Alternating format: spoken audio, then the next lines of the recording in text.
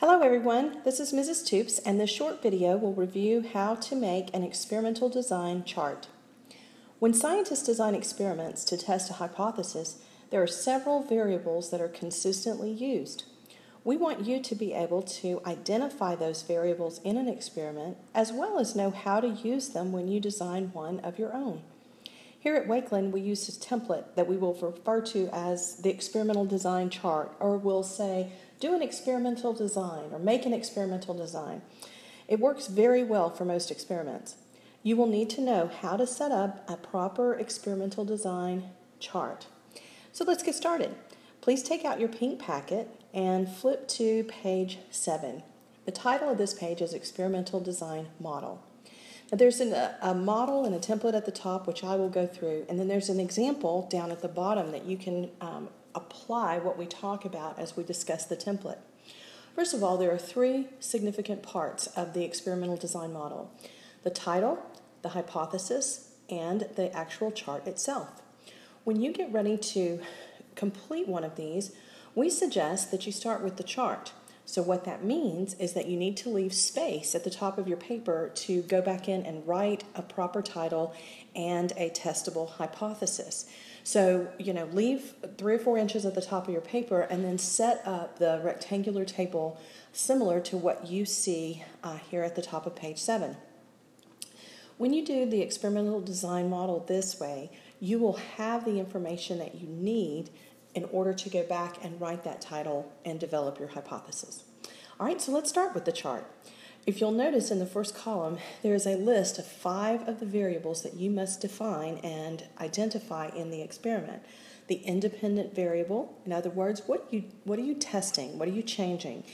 The second level is the levels of the independent variable. In other words, what are the values of those various tests that you're doing?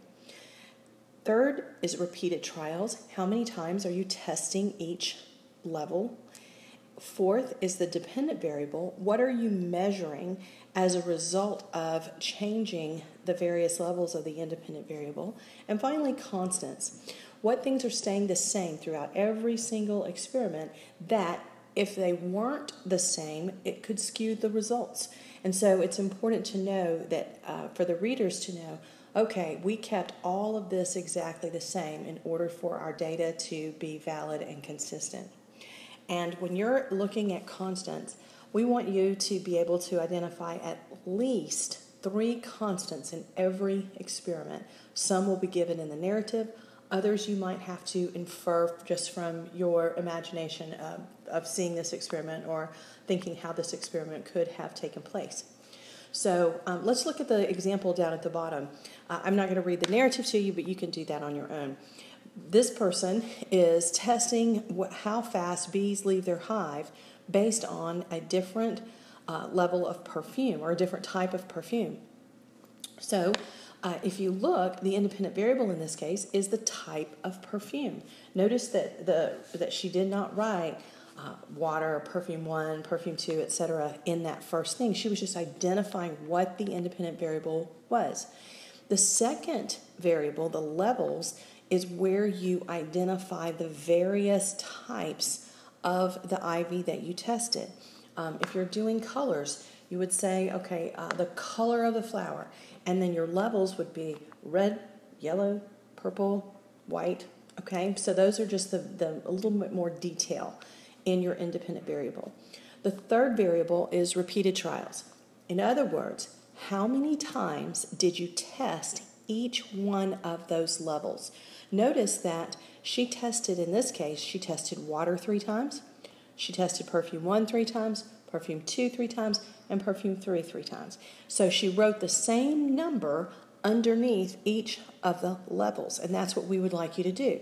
Now, you may be thinking, well, that's silly. Why not just write three and let it go across? The reason that you don't do it that way is there may be times that you don't have the exact number of repeated trials. Things happen.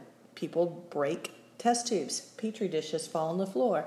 Um, something could have knocked over the saucer that she put the perfume in. So um, you always want to it's, it's fine to have a different number there, but typically researchers try to use in, and test it um, repeat the experiment so that it makes the data more legitimate. Okay, so that's where you list that beneath repeated trials. Dependent variable is the fourth uh, line. This is where you're going to indicate what are you measuring and, very important, the units of measurement. Uh, in this case, you can see that she is measuring the time that it took the bees to emerge from the hive. And she's indicated the units in parentheses off to the side. It might be seconds or milliseconds, whatever it is, you have to include that there. So it because it does make a difference in how a reader would interpret your data. Finally, constants. What things stayed the same in this experiment?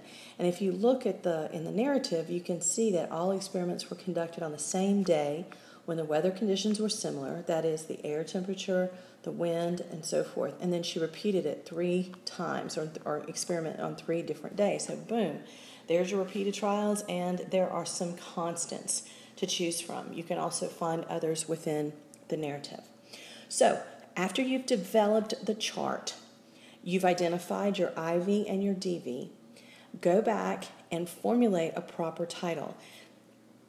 As we begin um, developing and, and planning experiments, we're going to ask you to follow a general format for the title because we want you to be able to identify these things and we want you to develop um, proper titles. And that format is going to be the effect of the IV on the DV.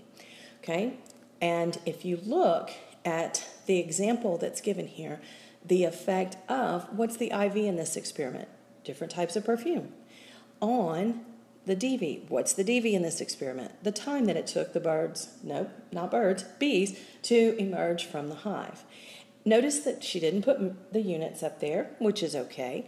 Um, she didn't say the effect of water, perfume one, perfume two, perfume three. No, she summarized it by just simply saying the effect of different perfume types, the overall independent variable, on the time it took the bees to emerge from their hives, the DV, just in a, in a kind of a summary statement. It's a well developed title. Then look at the hypothesis. Another thing that we're going to ask you to do is use an if then statement for the hypothesis. If, and think IV, then what's going to happen to the DV? In other words, they're going to predict what is happening. If bees are agitated by ester X, then they'll emerge from their hives faster than if the perfume contains ester X. Okay, so that's a legitimate hypothesis, um, and that came from the, the narrative. So go back and read that. So you can see the benefit of doing the chart first because it helps you accurately identify the IV and the DV, formulate a proper title, and then formulate a testable hypothesis. Okay, that's it. Um, good luck designing your first experimental design in class tomorrow, and uh, hope this was helpful.